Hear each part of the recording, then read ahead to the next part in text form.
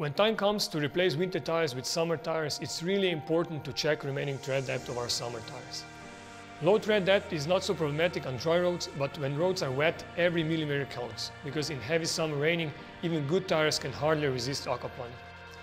It is pretty easy to check if our tires are still okay from tread depth point of view, because all tires have so-called tread wear indicators inside main channels, which are set at 1.6 millimeters high and when the whole pattern is aligned or getting close to that level, it's really high time to replace our tires with the new ones.